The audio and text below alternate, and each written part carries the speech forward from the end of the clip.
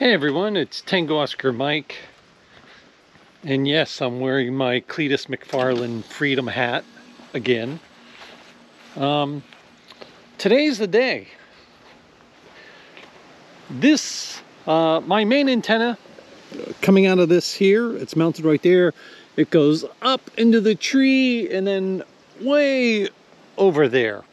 And that's a 49 to 1 end fed. And that's been in the past, that's been my main antenna for a long, long time. And I have, we, my club did a build. There's a video I think I did on that. And it's running from this tree. You can might be able to see the box mounted to the tree right there.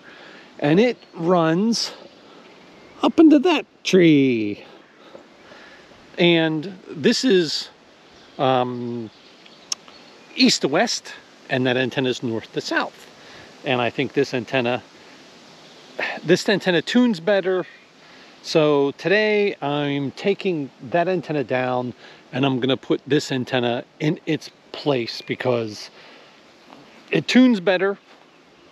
Um, I get more bandwidth on the bands and um, I wanna try it over here. This is my main location. This is my main antenna. So I think it's time to move that one. So that's what I'm going to be doing. And uh, yeah, so I just realized I needed to get my drill to unmount the boxes off the post in the tree. So I am going to go do that. So I'm getting these antennas down. I got the one down already. It's pulled out here. I have to strip my weatherproofing off of it and then uh, run the wire out and do that.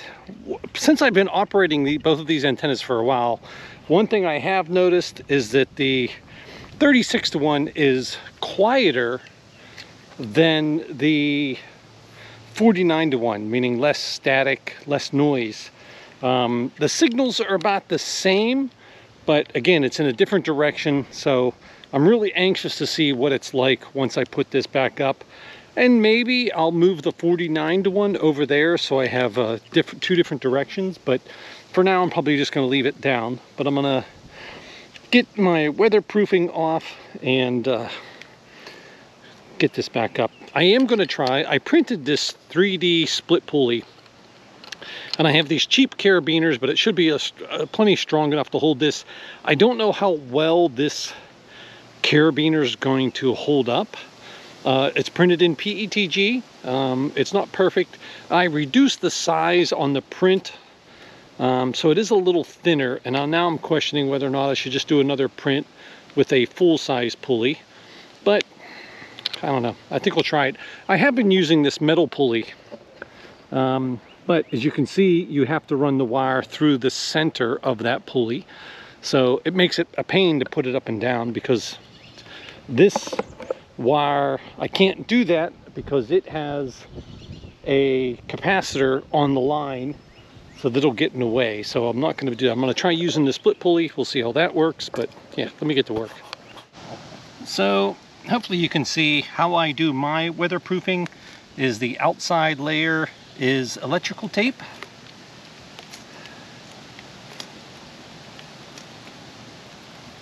And then underneath is that self-amalgamating rubber tape, which is almost impossible to get off once it's on. Once it's on, it just kind of sticks to itself enough that trying to peel it off, sometimes if you can get it started, it'll come off. But yeah, it's just, it's just gonna tear and shred. So it's almost easier just to cut it and pull it down.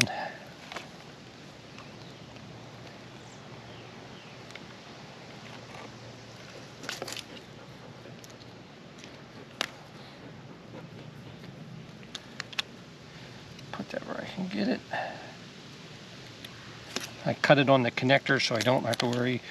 And then underneath that, I have more electrical tape to prevent it from st sticking to my coax. So I can take this off.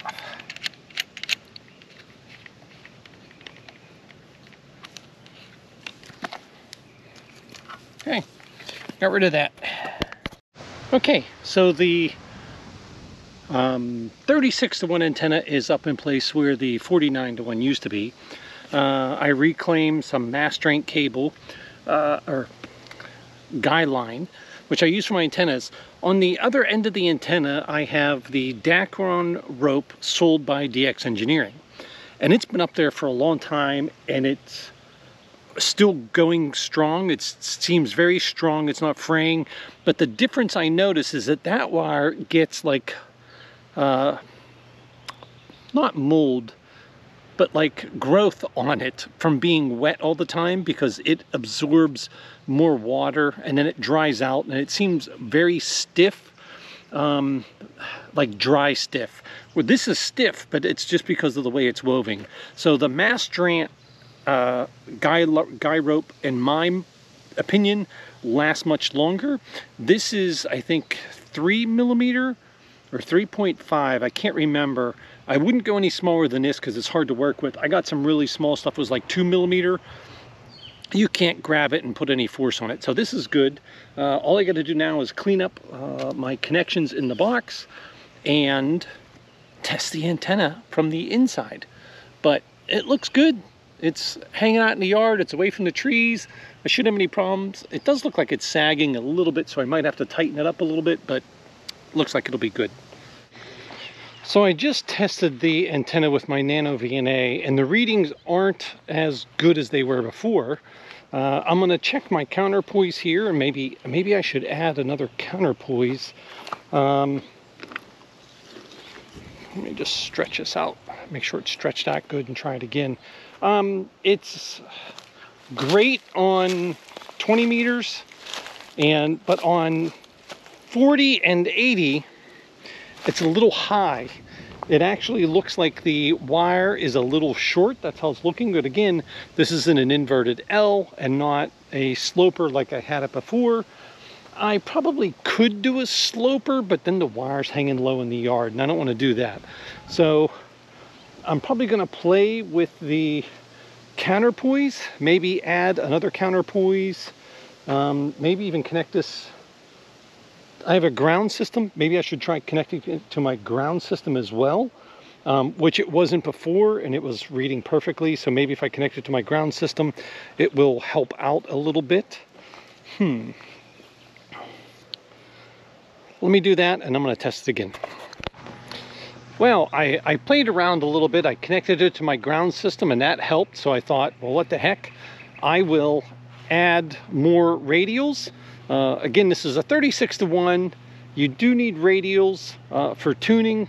So I just grabbed some scrapped radials that I had.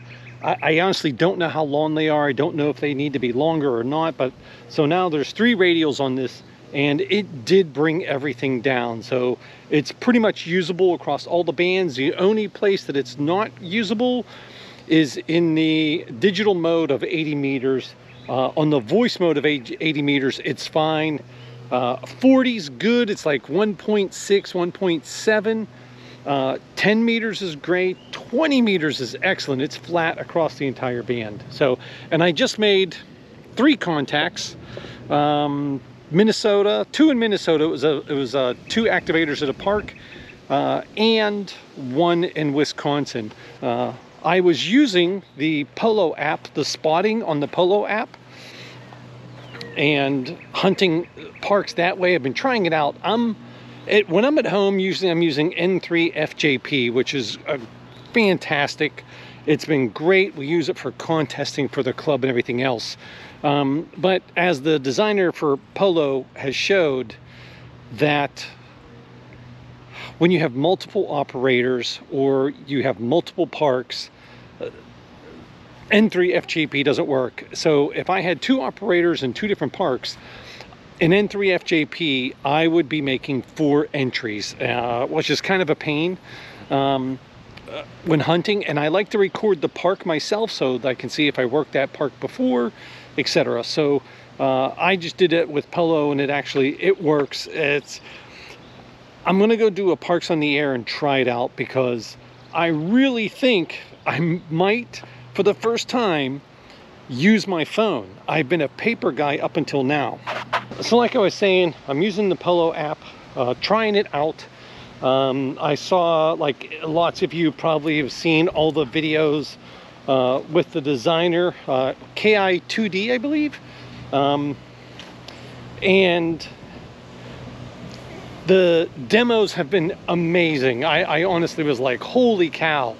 Uh, it was impressive. And I hope, uh, I would love to work running on a desktop too as well to try it out. But um, so I've been running PoLo on my phone and it's like anything else, it's taken a little bit to get used to, but I honestly think that I might be able to use it for a POTA activation.